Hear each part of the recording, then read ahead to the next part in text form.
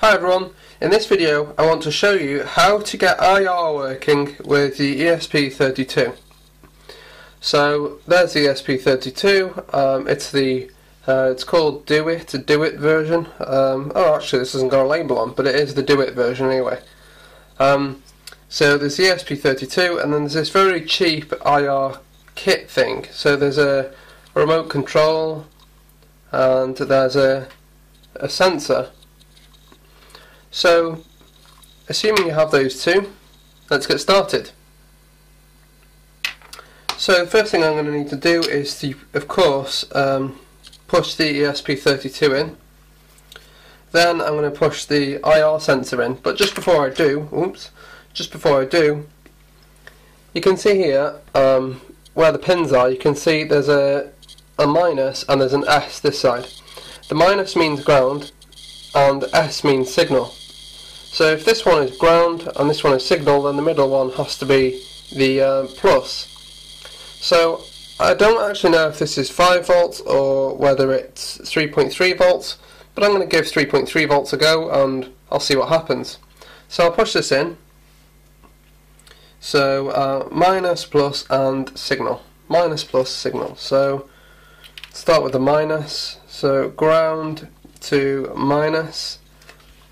Then let's go for 3.3 volts to plus and then let's go from D13 to signal and uh, let's see if this works.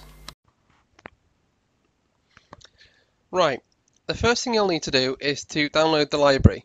So the library I'm using is this one here, https colon slash slash github.com slash z3t0 slash arduino hyphen ir remote. So when you go over here and see this library, um, click on clone or download over here and then go to download zip. And then um, when it's downloaded, something like this will come up.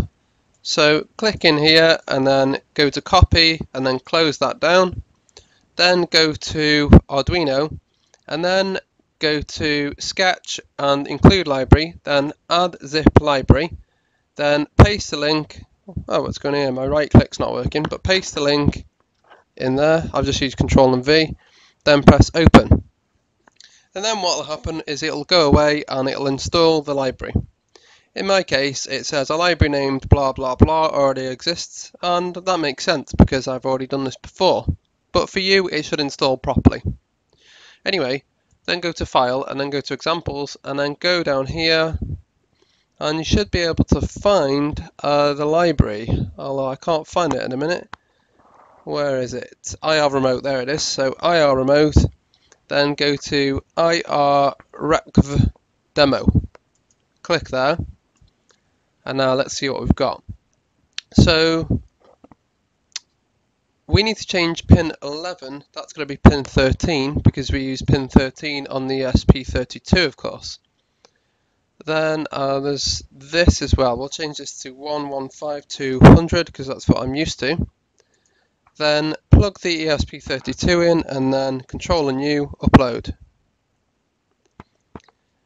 So, um, we'll give this a few minutes to upload, well I'll say a few minutes, we'll give it a minute to upload.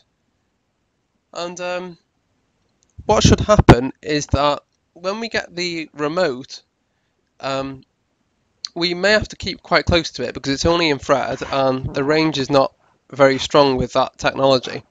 But when we press a key, it should um, give us a code on the screen and then after it's given, given us the code, they'll usually repeat with FFFFFF, um, which is of course 255, 255, 255, uh, which means maximum uh, number of the transmission. So yeah, just to repeat that, uh, when we press a key, it will tell us the key and then it should repeat FFF. And what it means is that it kind of lets us know that the key is being held down. Right. Okay, so I believe it's uploaded now, so I'll just get the serial console up. Okay, and it says enabled IR in. So I'll just reach over now and get my uh, device. Let's bring this closer. Now I'll aim this towards the sensor and let's press the OK button. And there we go. So it says FF02FD and then there's like I said FFFFFF. So if I press that and hold it again, it will repeat.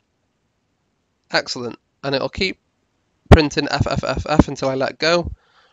Right now, if I do a different key, so if I hold the star, it'll do the same thing. It'll give the code for the star, and then repeat FFFF. Yep, and again, yep. So far, so good. Next key. And that's basically how it works. So in your code, you'd probably want to ignore the FFFFF and just take note of the actual codes. So if you're trying to turn something on, you'd look for that code. Can you read that code? No. Can I read the code? No. Can I read the code? Yes. Then you'd make your change and you basically ignore everything else uh, until you find the code for switching off or whatever.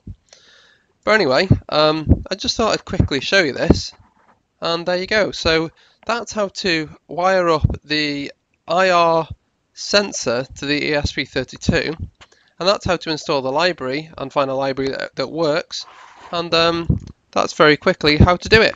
So hopefully you found this video useful and thank you for watching. Bye!